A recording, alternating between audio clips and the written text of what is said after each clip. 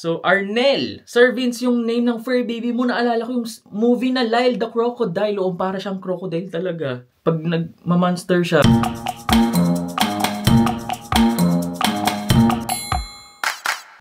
Hey guys, so ito itsura natin for today's video. Walking vlog. Walking vlog. Hindi mag-grocery ako para makita nyo at para hindi mahirap magtulak ng pushcart. Actually, ngayon ko lang nakita, ngayon ko lang naalala may ganito pala ako. And since mag-grocery tayo, tulak ako ng pushcart. Yan, try natin gamitin. Hindi pa parang medyo weird lang. Oh, pero kasi nga, syempre na supermarket. Pero, let's see.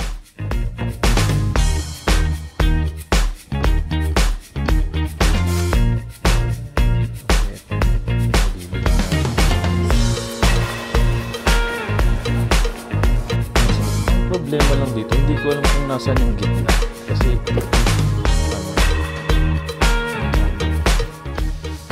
dito na tayo sa labas ng Tony's, guys. Nahirap pa rin ako maglakad kasi meron akong gout. Di ba? Gusto nyo yun? Sana mabilis lang kasi naka-break lang ako, guys. Bibili na rin tayo ng tubig, by the way.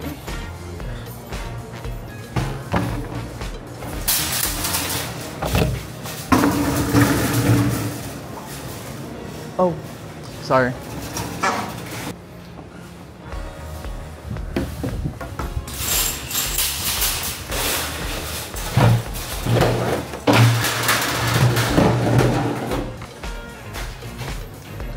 Yan.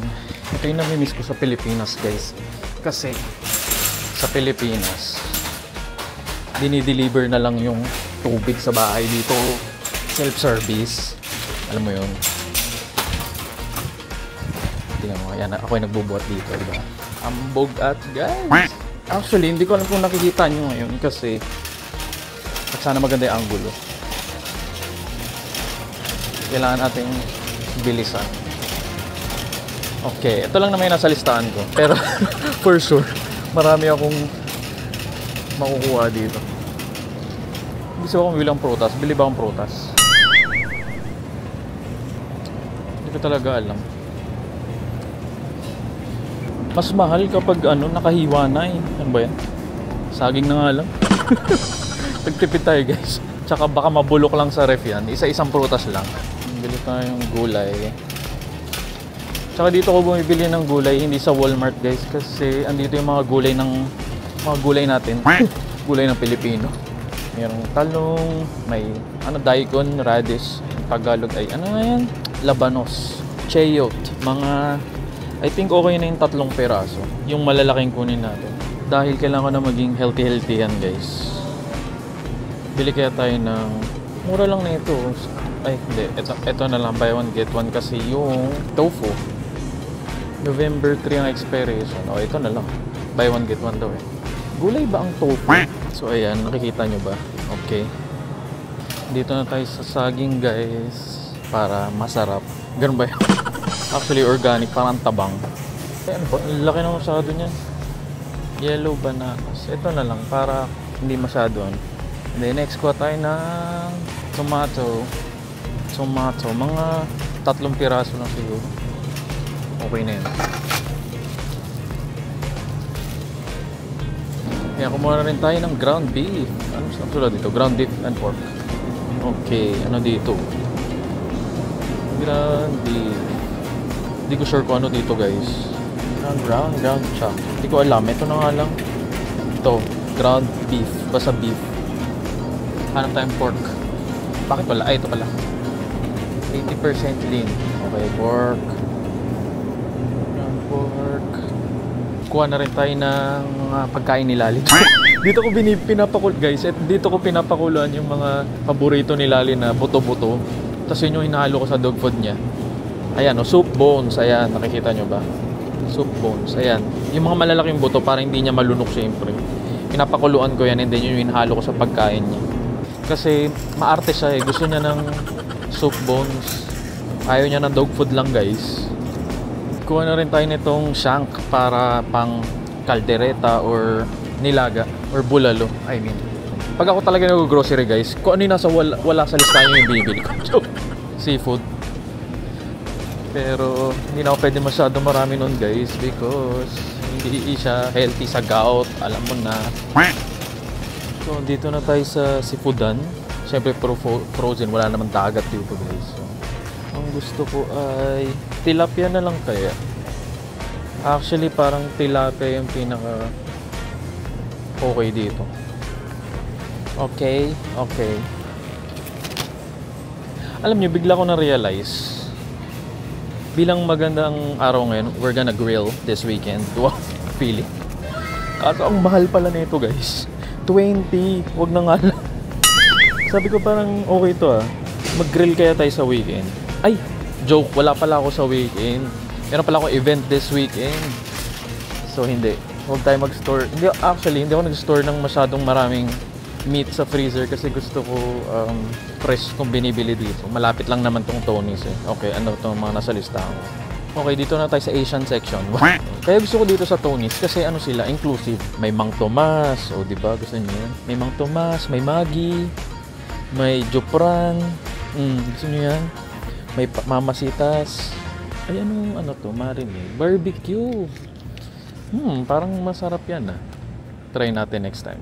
Ayan, Dato Puti Toyo Mansi. Naki Ay, naku, hindi ko alam kung nakikita nyo. Dato Puti Toyo Mansi. So yun, kaya ako siya gusto dito kasi lahat ng seasoning natin, hindi lahat, pero yung mga basic andito. Punta tayo sa, ano, bigas. Kasi wala na kaming bigas, literal, as in zero, zero. Although hindi na ako masyad... I mean, nagbibig, nagkakanin ako pero once a day lang. Bili na tayong big, uh, big ass, Bisaya. bugas. Bili tayong bugas. Itong, ito yung binibili kong bugas or bigas guys. Calrose rice. Para siyang, para siyang Japanese rice. Kasi maliit yung bottle niya and then parang naalsa siya. And then white na white. Before, yung binibili namin palagi is just, well, minsan bumibili ako ng jasmine rice. Pero ang dry kasi nung jasmine rice eh. Itong Calrose rice is medyo ma... May guys, kay, may skyflakes guys, teka nga. ako na nag-move nito, teka, saan na ba yung tatrabaho dito? Hindi ako na mag-move. So yan, may skyflakes, save, mahal ah.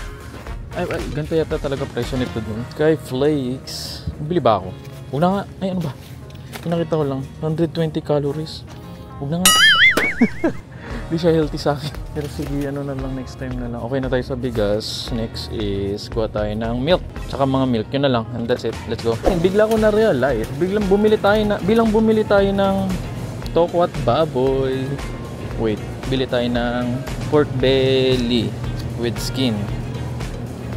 I think ito. Ito na yung pinaka-okay na marami. Puro sa taba. Bakit ganun? Pero ito na yung pinaka-okay I think.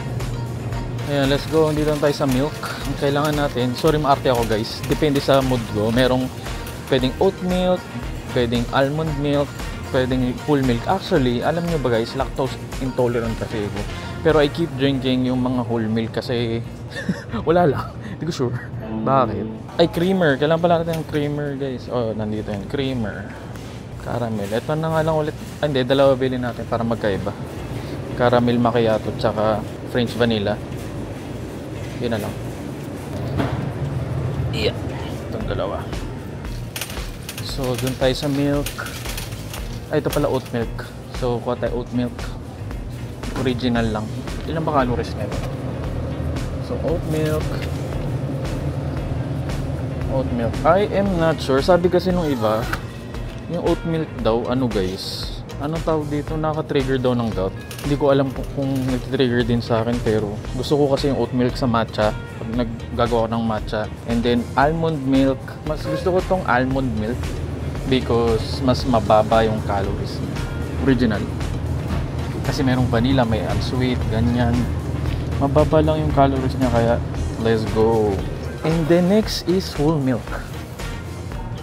Pili tayo ng maganda-ganda dito. So ito yung kinuha natin, fat-free milk, lactose-free, let's see. Para sa amin ni, ni Commander. Siya wala naman siyang problema kasi hindi naman hindi naman siya lactose intolerant ako, lactose intolerant ako. Hindi naman okay lang naman uminom ng mas kung lactose intolerant ka, parang safe pa rin naman siya. Nag ah, ano lang siya, parang provide discomfort lang siya the whole day kasi guys literal puro talaga siya as in. Okay, last I think yung last na lang tayo guys oat milk, almond milk, chararara, egg. Egg na lang and then that's it. Parang ang dami kong nabili. Chairman, dito tayo sa Jumbo. Jumbo hotdog kaya mo ba? Stop it. Get some help. Ito yung binibili ko. Mura lang to. Tapos dalawa na bilhin natin. Let's see, to make sure na walang basag. O, di ba? Yung sa... Okay, okay. So, ganun pa guys. Kasi malakas ako mag-itlog. Oh my God! Wow! You know, diet-dietan. Lob ako matapon. Teka nga. Okay, let's go. Self-service, self-checkout. Ay, hindi na pala ako mag-self-checkout guys. Ang dami nitong binili. Dito na lang tayo sa ano. May tutulong sa atin. Okay, let's go. So, ayan na lahat ng nabili natin guys. Iba dyan wala sa listahan. Let's go! Tapos na guys. Gusto niyo ba malaman magkano? Ah, naka-ano tayo? OMZ.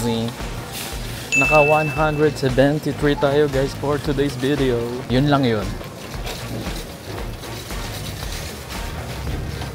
Ang mahal, bakit ganon?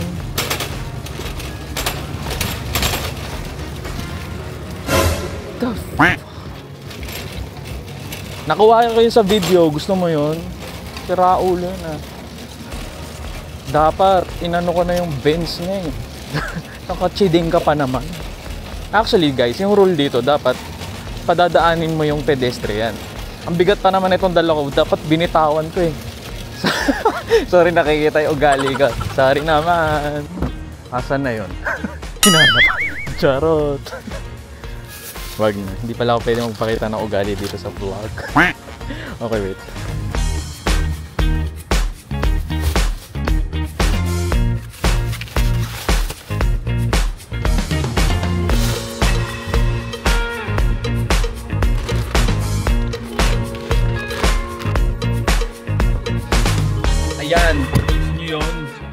Pambihira. Alam nyo, i-explain ko lang guys, ano. Kapag may pedestrian, dapat pinapatawid.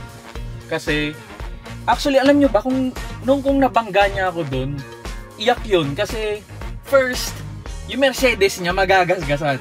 Pangalawa, kapag nabangga niya ako, ay, lawsuit yun, ma'am, sir. So, meron akong ka-office mate, nakakuha siya ng $20,000 kasi, ano, Hiningal ako. Kasi, ano yun, nabangga siya habang, habang tumatawid siya sa pedestrian. Sabi ko sa kanya, la, ayoko naman ng ganun, baka mat mategi ako niyan, di ba?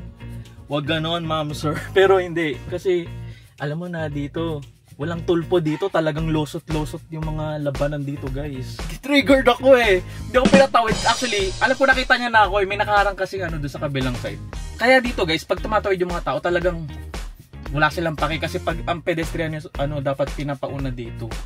Pag nabunggo mo sila malaking pera. Ayun ano?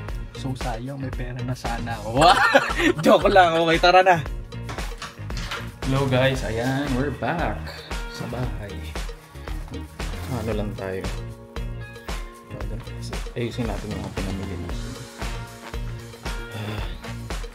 Hey guys, what's up? Welcome back to my channel. Bago natin sagutin yung mga comments nyo sa last video, kung bago ka lang dito sa channel na to, hello po sa inyong lahat. Ako si Vince, Filipino Living the American Dream at gumagawa ako ng mga Buhay America vlogs. At sinasagot natin yung mga tanong nyo or mga comments nyo sa last video. Walang hinga-hinga. Pagod, di ba? Anyway, kung bago ka lang dito, hello po, ako si Vince, Filipino Living the American Dream. Sinabi ko na ba? Ito ulit. Kung hindi ka pa nakasubscribe, please click the subscribe button at yung bell icon para updated ka kapag meron akong bagong upload. Nag-upload ako ng vlogs ko every Saturdays, 12 to 1pm Manila time at sinasagot nga natin yung mga comments nyo sa mga vlogs. Okay. Ernesto Pogi, interview bossing, ibang YouTuber, parang Life in America interview. Uy, pwede. Ah, actually, ano, Ernesto Pogi, naisip ko na yan eh. Kaso, minsan ang hirap. Actually, naisip ko siya nung pandemic. Ang weird, di ba? Naisip ko, paano ako mag-interview? Baka mamaya mahawa pa ako ng mga tao. Magkahawaan tayo ng COVID. So, pero naisip ko na siya before. Hindi lang YouTuber. Actually, naisip ko, every Filipino na gusto nyong isuggest, yung, yung isa-suggest nyo na interviewin ko, dito sa US. Nagawa ko na siya before. Naalala nyo si Mama RN, yung parang ganung collab. Wala kwentuhan lang. Tapos, yun, paano sila nag-start dito sa US. Mapa YouTuber or hindi. Yun yung maganda. So, kung meron kayong kakilala na nandito, comment down below. So, pwede kong interviewin. So, para siyang ano, wow, documentary. Wala, kwentuhan lang sa ano sa buhay-buhay ng iba't ibang mukha ng Pilipino dito sa US. O, di ba? Naku, may manggagaya na naman. joke. May manggagaya na naman dito. Uy, hindi. Joke lang. Walang ganun. Kaya meron kasing isang YouTuber na nag-message pa sa akin, sabi niya, Gina ginaya ko daw siya. Huy! Kahit mas nauna ako mag- mag-YouTube sa'yo. Anyway, so yun, Ernesto Pogi, pwede natin gawin yan kasi wala lang, mas parang maganda nga yung ganun. Andrea Jedge TV! Yun, Sir Vince is back! Alam mo yan, Jedge, Andrea, kamusta naman? Yes, super busy mo nga sa TikTok, dami upload per day pero iba pa rin ang vlogging. Actually, ang dami kong mag-upload sa TikTok kasi kailangan ko siyang i-upload. May deadline yun kapag nakasulat doon sa app, sa TikTok creator or sa TikTok shop sa mga creator, nakasulat doon yung deadline. So nakaka-pressure talaga siya. Tsaka baka maban kasi ako kapag hindi ko in-upload on time. And ayun, so kami ang dami upload TikTok per day pero iba pa rin. Iba talaga pag vlogging kasi para ako may kakwentuhan. Totoo naman talaga. Parang kakwentuhan ka namin. Hey, hey, I like the idea, Boss Vince. Okay din po yung vlogging sa mga gig mo. Parang behind the scene vlog. O, di ba? Ganun. Para nakapag, nakapag ano na ako doon, vlog, nakapaggawa na ako ng content, nakapag-vlog pa ako. Tama din naman. Ay, by the way guys, etong si Andrea Jedge TV, meron din, din silang channel. Check mo sila. Mas maganda yung vlog nila sa akin. Mas may katuturan. Michelle Sia, hello Kuya Vince. Yes po, nice idea po na samahan nyo ng mga things to do or visit in Chicago. Thank you sa pagsagot. Kuya Vince, any tips po if saan safe mag-rent ng apartment around Chicago? So yung, di ba ikaw yung sabi mo sa west side Chicago, hanap ka ng somewhere north. Madali, kailangan mo rin naman kotse dito eh. So kapag may pambili ka na ng kotse, mag-rent ka somewhere north side. Ito yung Chicago, di ba? Huwag ka dyan, huwag dyan. Doon, dito ka medyo. So, ayan, ang ganda ng Chicago, di ba? May padagat, Manila Bay yan. yan. Wag dito, wag doon, wag sa south, wag sa west. Dito ka banda sa taas. Kung let me know, pero hindi naman lahat ng ano west at south ay delikado. Pero just to be on the safe side, actually kung wala, may kilala ka ba mga Pilipino dito, tanong mo sila kung saan sila nakatira kasi for sure mga Pilipino hindi naman yan maghahanap ng hindi safe na lugar eh. Pero yun, comment down below kung may nakita ka tapos sasabihin ko kung okay doon o hindi. Or sabihin mo sa akin saan ka mag-work para mahanap talaga natin saan yung pinaka-okay na neighborhood for you i-ano kita, hanap, naging ahente, hanapan kita ng apartment. So, Arnel. Sir Vince, yung name ng fur baby mo, naalala ko yung movie na Lyle the Crocodile. O, para siyang crocodile talaga. Pag nagmamonster siya. Nagmamonster. Ang, gu- ang likot-likot kasi niya, guys. Kasi baby pa siya.